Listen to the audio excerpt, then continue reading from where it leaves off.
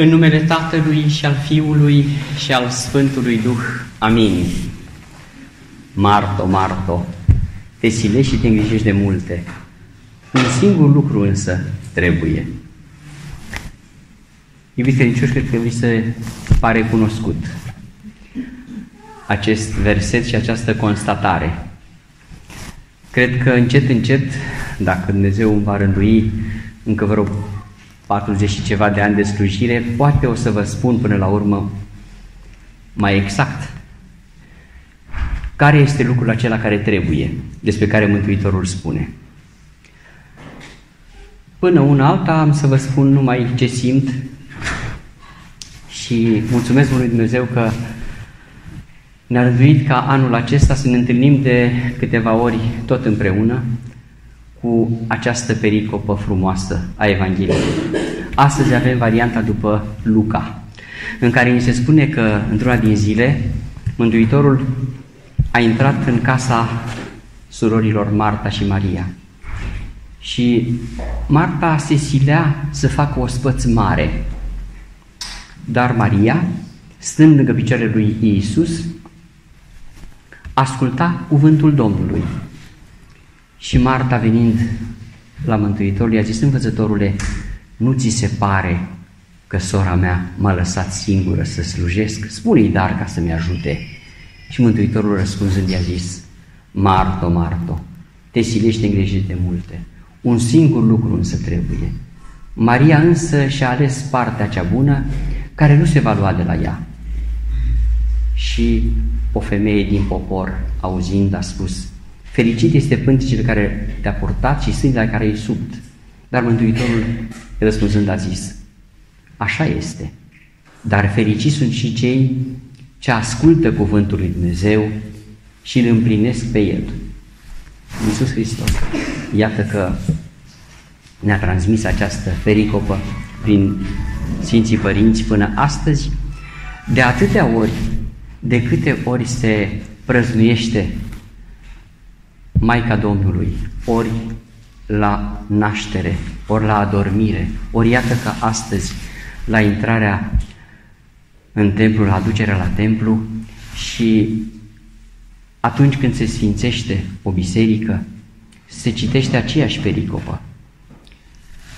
M-am întrebat de multe ori de ce de atâtea ori și încet, încet îmi dau răspunsul în fața dumneavoastră pentru că e posibil ca niciodată să nu atingem profunzimea la care Mântuitorul ne cheamă.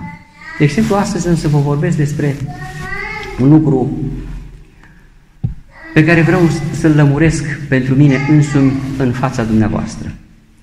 Și anume, cred că îmi dă Maica Domnului voie ca de ziua intrării ei în biserică să vă spun ceva despre cum funcționează omul. Știți că în vara aceasta tot v-am mai explicat așa puțin câte puțin despre funcționalitatea în care Dumnezeu ne-a lăsat să ne desfășurăm. Și anume, astăzi m-am gândit la cele două lucruri mari. Care este partea cea bună? Este aceea de a lucra, de a face, de a ne împărți și a ne despărți, de a ne împrăștia pentru ceilalți sau de a ne aduna și a ne vedea pe ale noastre. Cred că nu așa se pune problema. Niciuna dintre aceste părți nu este egală, ci la un loc trebuie să le vedem, dar la un loc însă pe fiecare în parte, pentru că nici ele nu se amestecă. Și anume, iată ce vreau să vă spun. În noi există o parte subconștientă și o parte conștientă. De câte ori ați respirat conștient? E bine, după ce auziți cuvintele acestea, cu siguranță că vă reglați respirația. Dar de câte ori v-ați gândit ce zgomot, de exemplu, face inima atunci când pompează sânge? Poate că atunci când mergeți la un cardiolog și aveți posibilitatea să stați pe lângă aparate, veți vedea și veți auzi mai de, de grabă cu cât zgomot împinge inima de sute de mii de ori în fiecare zi se spune că la 90 de mii de litri de sânge trec prin pompa aceasta care merge tot timpul. De câte ori ați putut să conștientizați de unde vine o durere? De câte ori ați bandajat cu gândul anumite lucruri care v-au durut sau altele le-ați mângâiat pentru că simțeați că au nevoie de mângâiere? Ei bine, de toate acestea se ocupă subconștientul nostru. Știe să-și facă treaba, știe când să pornească globulele albe, când pe cele roșii. Când să ia zahărul și prin insulină să-l împrăști în tot organismul. Știe de câte ori să bată inima, știe când să mărească ritmul, știe când să dilate pupilele astfel încât să avem o vedere mai pătrunzătoare. Pe toate acestea le știe subconștientul nostru. Pe celelalte, de a învăța, de a memora, uh, de a lua o atitudine, de a-și spune o părere, le știe partea conștientă. Însă noi ce facem? Că aici aduce pe Marta și pe Maria. Noi am vrea să tragem de mânecă partea cealaltă, partea de subconștient. Cum o facem? O facem crezând că facem noi mai bine, ceea ce face subconștientul. Crezând că noi trebuie să avem sub uh, stăpânirea noastră tot ceea ce ne-a dat Dumnezeu. Și greșit procedăm pentru că toate pornesc de la stres, pentru că despre asta vreau să vorbesc astăzi. Omul este lăsat cu niște experiențe pe care Dumnezeu i le-a sădit. Încă de la creare atunci când a fost lăsat ca în spin și pălămidă să își câștige și în sudarea frunții să-și câștige pâinea, omul a rămas în mijlocul animalelor de data aceasta nu ca în raiul cel din Eden, adică animalele să se plece în fața omului, ci animalele să se hrănească pe cale naturală așa cum au fost ele lăsate de Dumnezeu, adică inclusiv cu a sfâșia și pe omul care îi stă în față atunci când animalul este foame. Acum, ca să vă mai uh, destresez puțin, am să vă spun despre un câine bătrân și un leopard. Și anume, un câine bătrân vede un leopard venind spre el și a spus, până aici mi-a fost, ăsta mă mănâncă, pentru că după cum îi număr eu coastele, cred că are o foame de nici eu nu-i ajung. Și când să se întoarcă, el să o ia la fugă și a dat seama că nu are cum să fugă mai tare decât leopardul, mai ales că el era și la o anumită vârstă. Dar când s-a întors, a văzut niște oase și a început să și le ia cu lăbuțele și să spună cu voce tare, fiind sigur că în spatele lui se va opri leopardul să audă ce spune. Și spunea așa ca din întâmplare, ca neauzit de nimeni, câinile acela bătrâni, Mm-hmm. Bun leopardul ăsta, dacă am puțin, o să mă satur cu altul. Bineînțeles că leopardul auzind a făcut stânga preluș și a plecat. Numai că la toată scena aceasta era de față o maimuță. Și maimuța ce a zis, ei, păi văd că se poartă viclenia, ia să mă duc eu după leopard, să-i spun cam care-i treaba și poate îmi fac uh, un prieten pe viață din el că văd că un leopard tânăr, ei venim de hac câinelui celui bătrân. Și l-a ajuns din urmă pe leopardul care fugea de frica câinelui și i-a spus toată tărășenia. Ei bine, leopardul cel tânăr s-a supărat tare că, vezi, Doamne, i-a fost înșelată vigilența și s-a apropiat din nou în fuga mare de câinele cel bătrân, care însă, când l-a văzut că vine, a folosit o altă strategie. S-a întors cu spatele ca și când n-a văzut nimic și a început, a început să vorbească tot așa ca numai cu sine însuși și a zis, dar unde o fi plecat maimuța asta? Tare obraznică este. Eu am trimis-o să-mi aducă un leopard cât mai întârzie. Iubiți credincioși, cam așa funcționăm noi. Așa ne-a lăsat Dumnezeu și pe noi să funcționăm. Anume, atunci când venim, vedem pericolul și îl simțim, avem sădit încă în uh, subconștientul nostru, de la Adam încoace, posibilitatea de a ne pregăti subconștient pentru un principiu pe care neuropsihologii l-au numit principiul pe care neuropsihologia de astăzi, neurologia de astăzi îl folosește în a explica despre ce este vorba cu omul. Și anume se numește principiul luptă sau fugi. Ai de ales atunci când vine leopardul să lupți sau să fugi. Să uh, îți pui la punct musculatura și posibilitățile sau, dacă ai evaluat corect, să încerci să lupți dacă nu poți să fugi mai tare decât el. Și atunci, acest principiu, ce se întâmplă cu el? Este reglat tot de subconștientul nostru, adică de Marta, Marta, care se silește și se îngrijește de multe.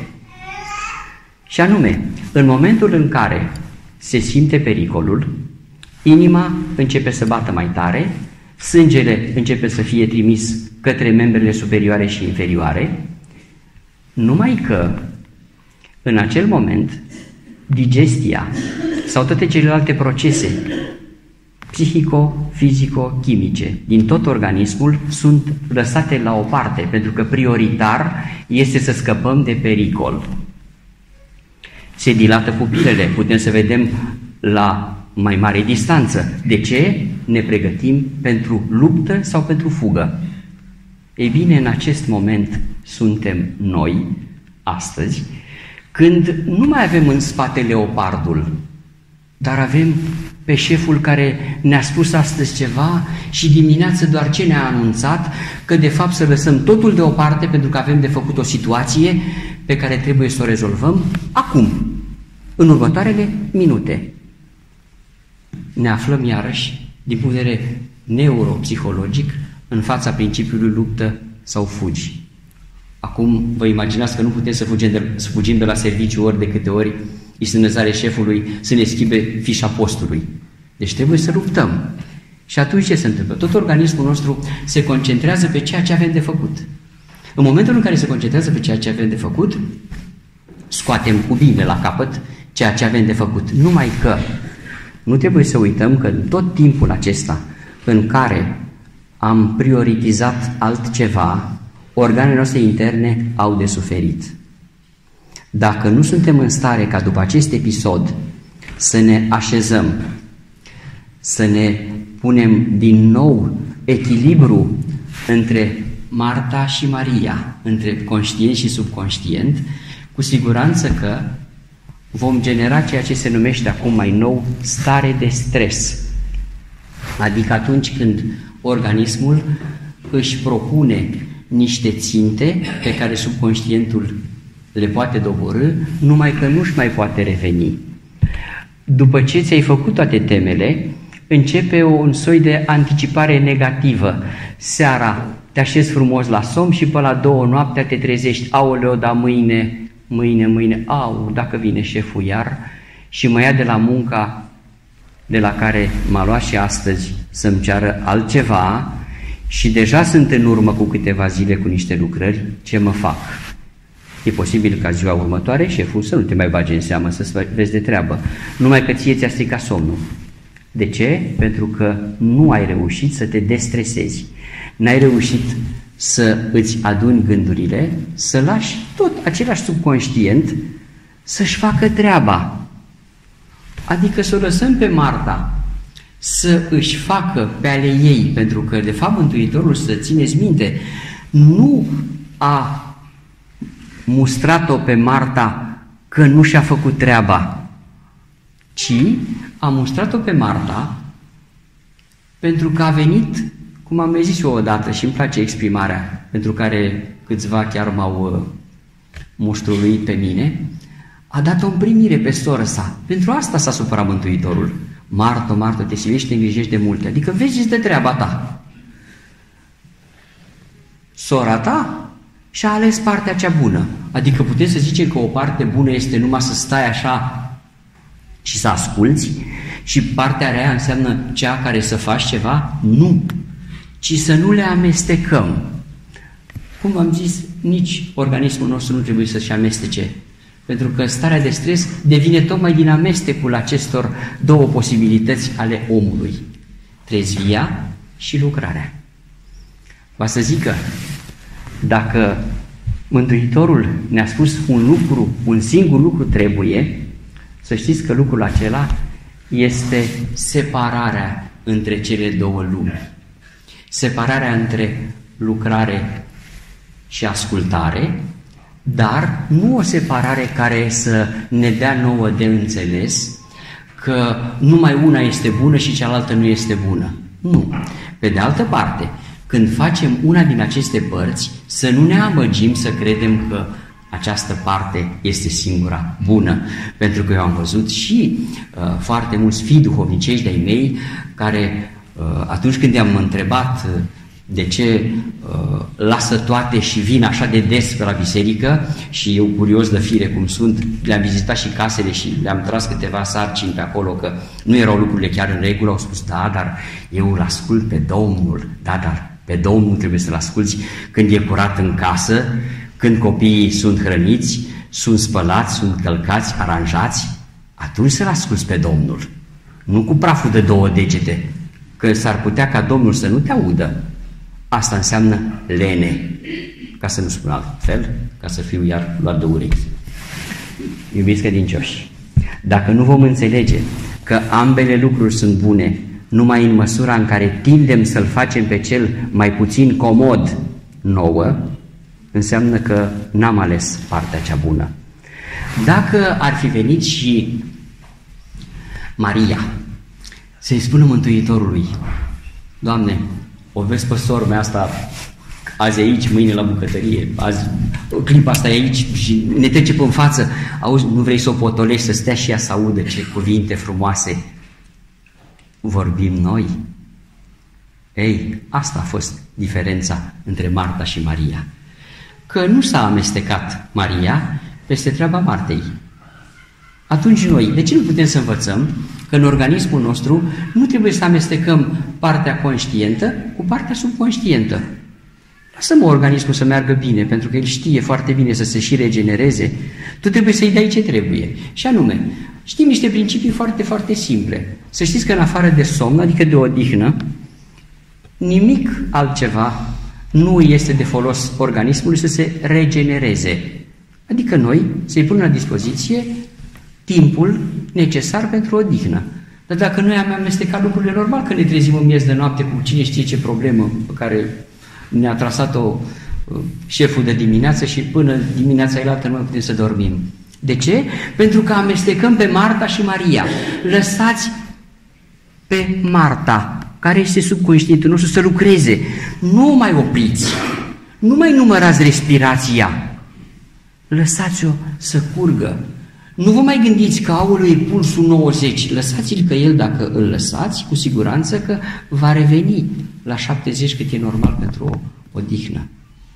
Dacă însă noi le amestecăm, Mântuitorul ne va avertiza. Te silești și te grijești de multe. Un singur lucru însă trebuie. Acum ești cu partea conștientă, așează-ți odihna, așează-ți lucrurile frumoase în mintea ta pentru că așa vei odihni trupul care se poate regenera.